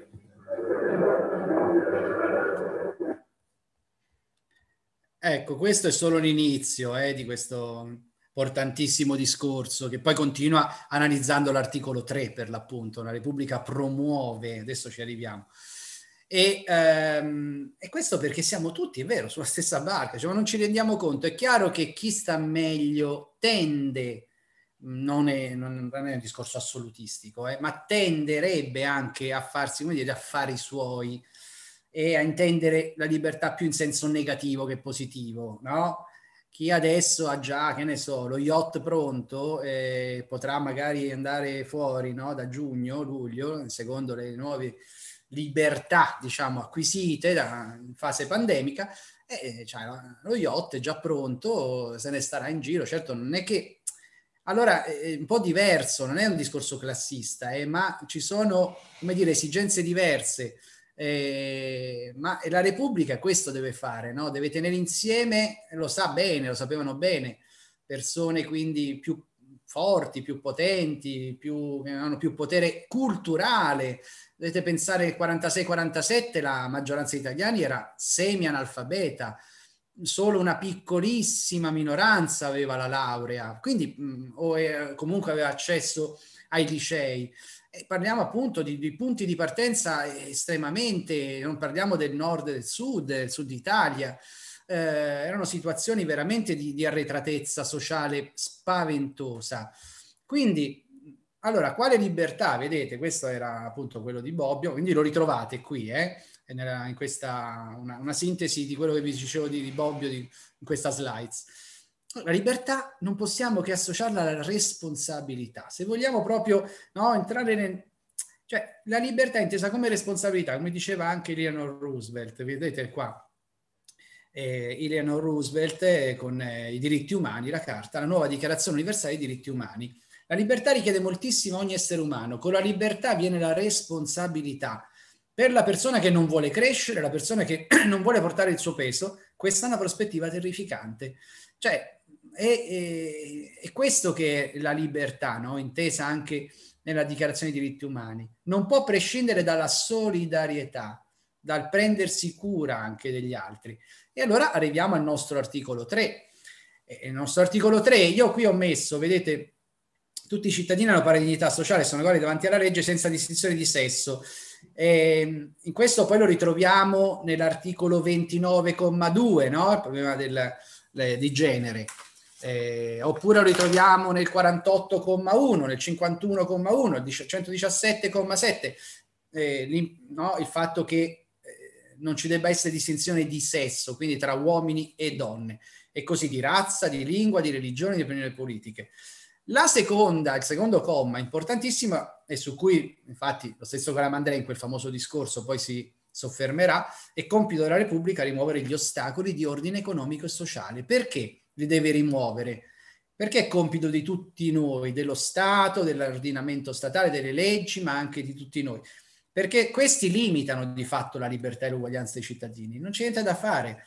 Eh, pensate, no? C'è eh, un grande intellettuale, un letterato, Anatole France, se, se lo trovo qui, eh, aveva scritto Il Giglio Rosso, Le Lis Rouge, e eh, in, questo, in, questo, libro eh, era, era, era, aveva sottolineato, no? Ora è come se eh, le leggi sono uguali per tutti, ma eh, è come se proibire al ricco e al povero di rubare del pane e al possidente al nullatenente di pernottare sotto i ponti della Senna. Cioè, le leggi dicono che è proibito rubare il pane ed è proibito pernottare sotto i ponti della Senna. Eh, ho capito, questo ovviamente al ricco, eh, ricco tranquillamente no, eh, eh questi, questi diritti, queste leggi le rispetta. E il povero che può essere per, no, nelle estreme conseguenze costretto a rubare il pane o lo è costretto a dormire sotto i ponti perché non ha la casa e chiaramente eh, trasgredisce, come dire, viola eh, delle norme, delle leggi che non, no, se sono uguali per tutti però non tengono conto di delle condizioni. Questo era un esempio.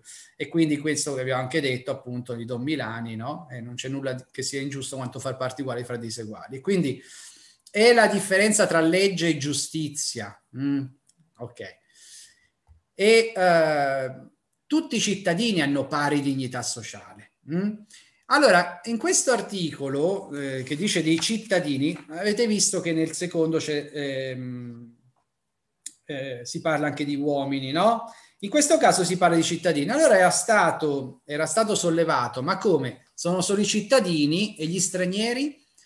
Ecco, eh, in questo senso c'è una sentenza no, della Corte Costituzionale del 2005, la 432, che a correzione di una legge ritenuta incostituzionale, quindi abrogata, perché prevedeva, eh, questa legge prevedeva un abbonamento gratuito ai trasporti pubblici per gli invalidi, ma solo se italiani.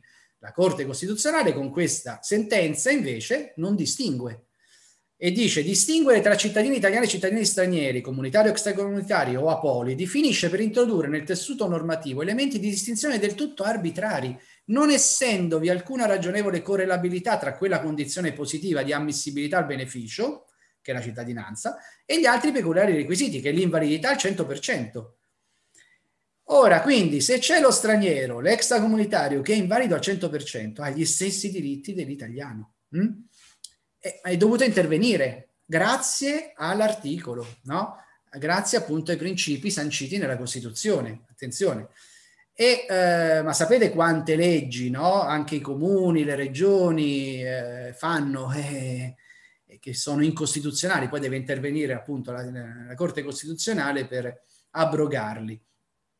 E perché la Costituzione italiana vieta ogni discriminazione sulla base del sesso, della lingua, dell'etnia, della religione, quindi va oltre la pura definizione dell'eguaglianza formale, prevede la fondamentale azione della Repubblica nel promuovere l'eguaglianza sostanziale, che è un processo infinito, potremmo dire, nel senso che non abbiamo certo raggiunto.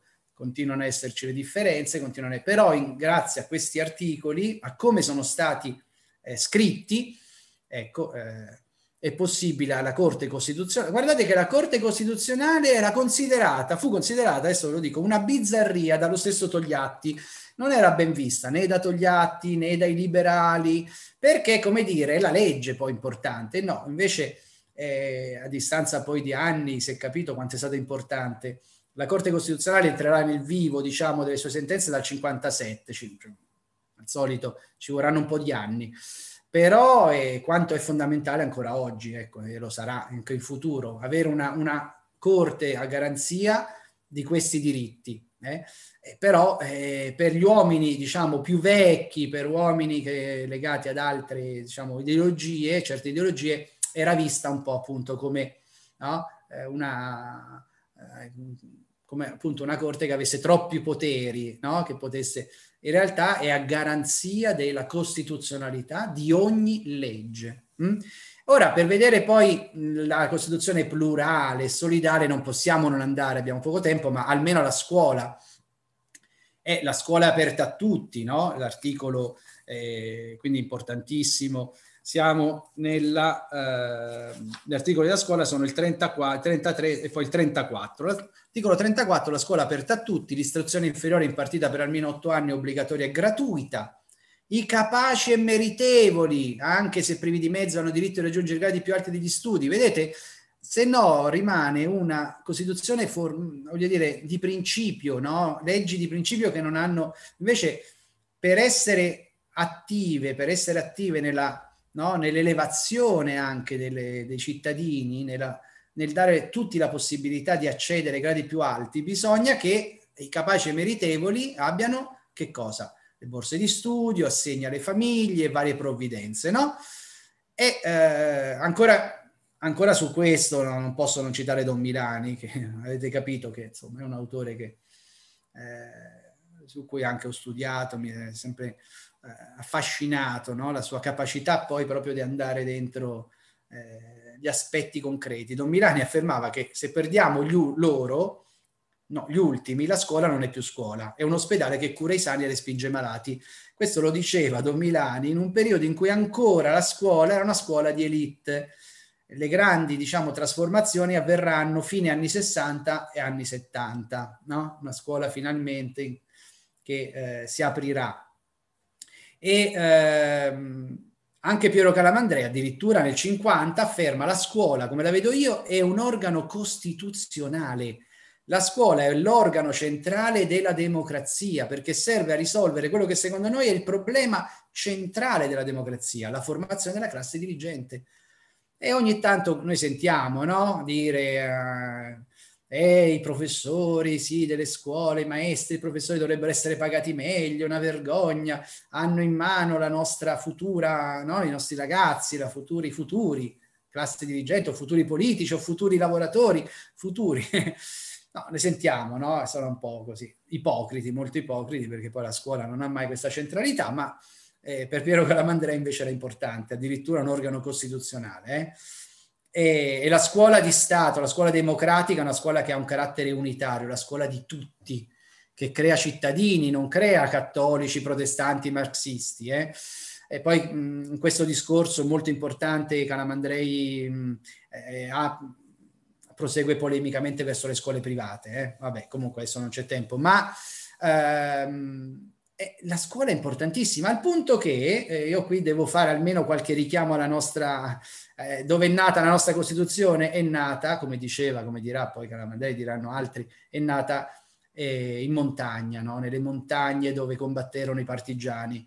E, bene, durante la lotta partigiana ci furono eh, le repubbliche partigiane, eh, la Valdossola, Montefiorino, la Carnia. Ora, queste repubbliche... Pre- alcune di, questi, alcune di queste repubbliche che ebbero vita effimera, vero, al massimo un mese, 40 giorni, quella della Valdossola 40 giorni. Ebbene, lì, proprio in Valdossola, eh, fu, eh, fu, un tempo eh, sufficiente addirittura a organizzare, come dire, a scrivere una riforma della scuola.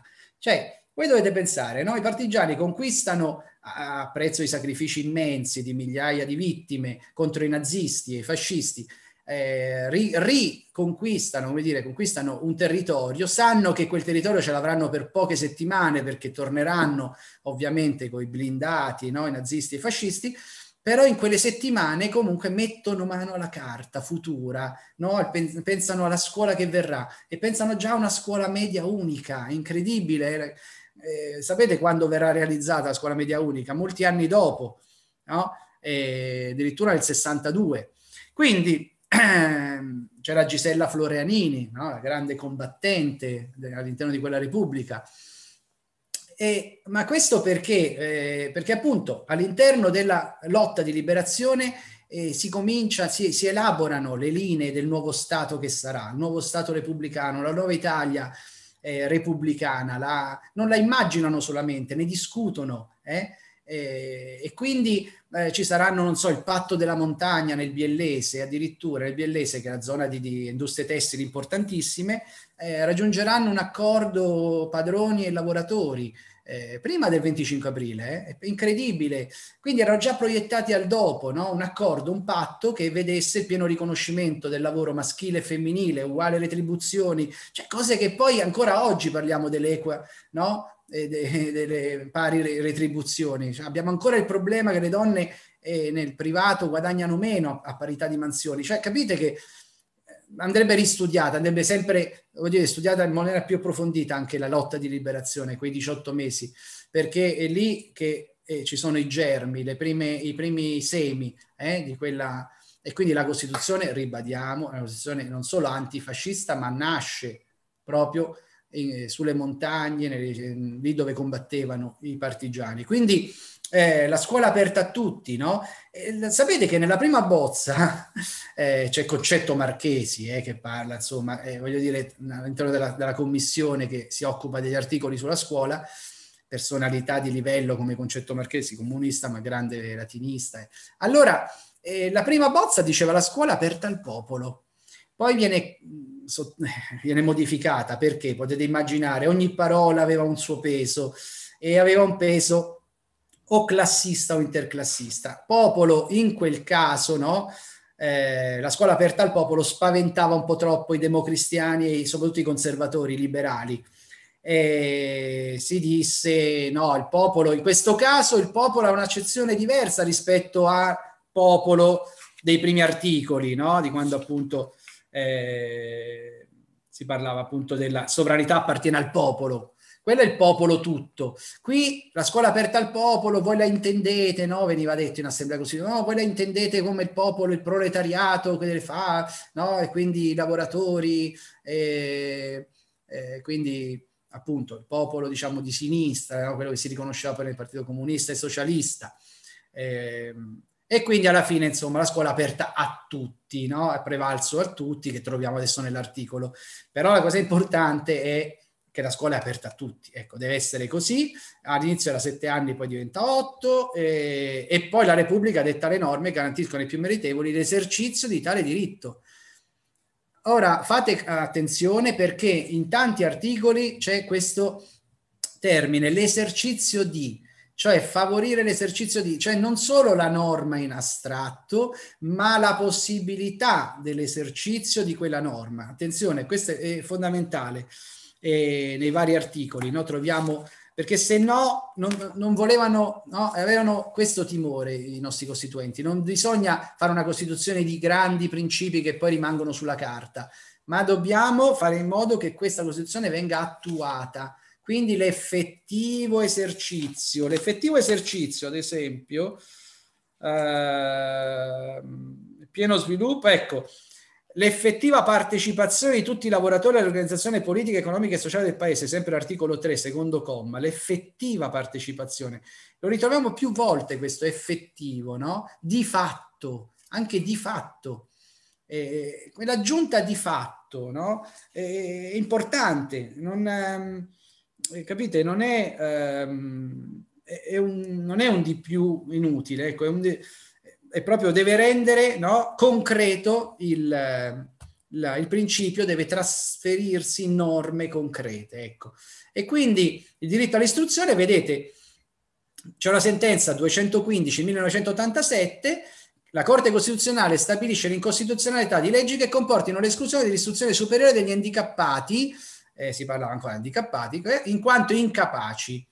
Allora, siccome c'era stata una legge che impediva a una persona handicappata di iscriversi in una data scuola, eh, si fa ricorso alla Corte, la Corte con la sentenza 215 dice no, non possiamo escludere handicappati in quanto incapaci in virtù dell'articolo 34, primo comma, che recita la scuola aperta a tutti. Voi capite, questo è l'effetto concreto delle norme, dei principi costituzionali. Mm?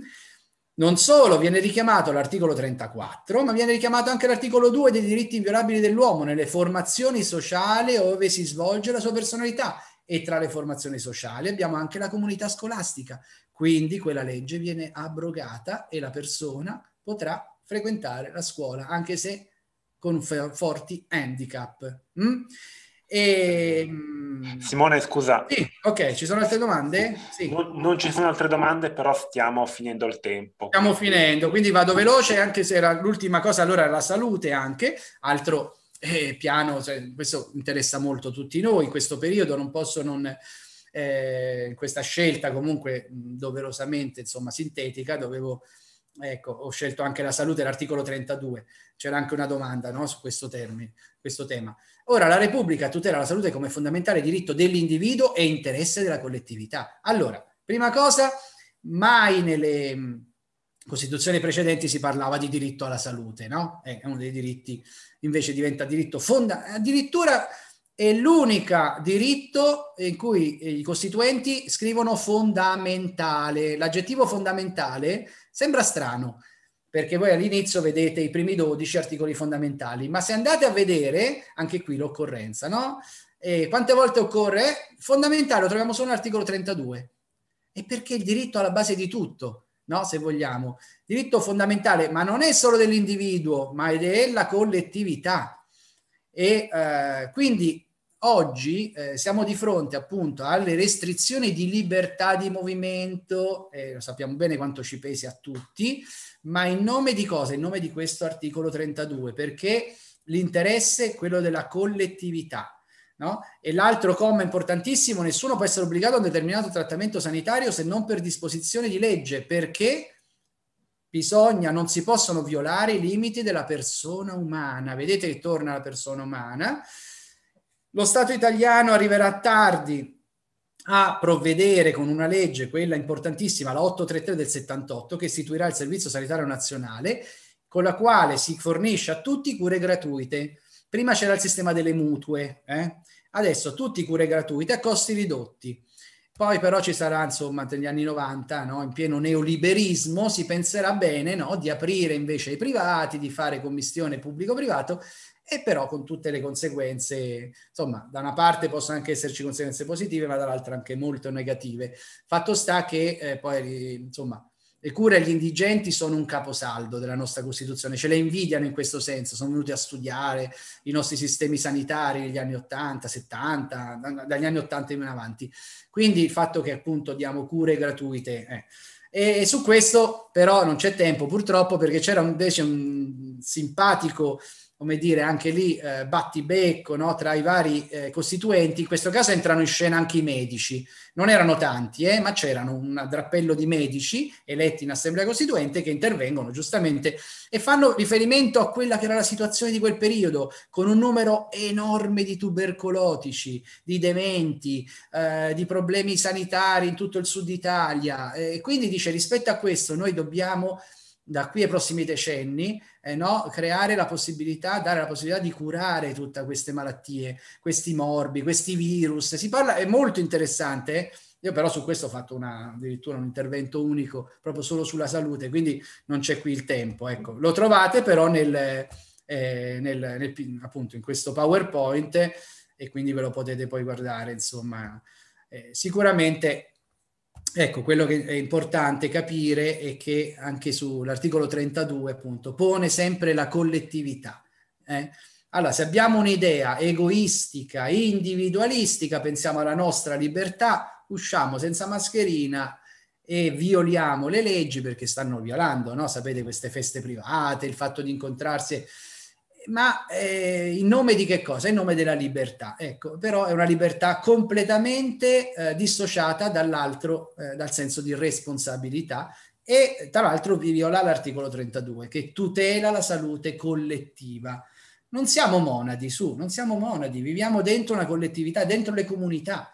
E quindi nelle comunità, eh, se arriva un morbo, un virus come questo del Covid-19 che si propaga via aeree, non c'è, po- c'è poco da fare il distanziamento, la mascherina e la pulizia delle mani sono fondamentali, altrimenti infettiamo persone che più fragili, più anziane, muoiono. E quindi è una scelta, io non, la, io non, la consento, non consento che sia una scelta individuale, non è che posso dire sì, allora tu pensi che sia più importante il diritto a, individuale alla libertà, la tua personale, e fai... No, io non lo considero né degno, anzi indegno, e né rispondente a quella che è la nostra Costituzione. Poi ognuno di voi può pensarla come vuole.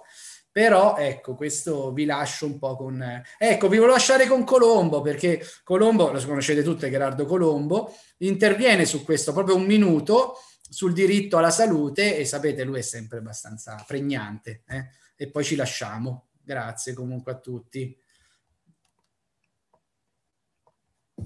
La Costituzione partendo sempre dalla constatazione che tutti noi siamo degni tanto quanto gli altri, tutela per tutti la salute senza fare nessuna discriminazione.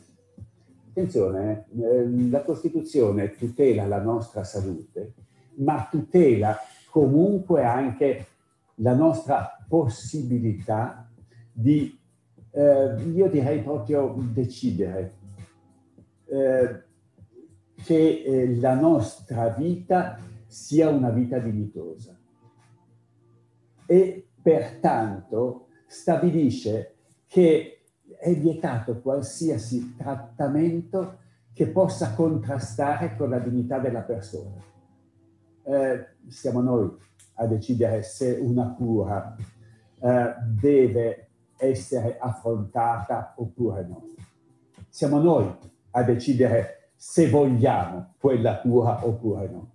Salvo che ovviamente, salvo che ovviamente, decidendo per il no non danneggiamo le altre persone, perché le altre persone sono degne tanto quanto noi.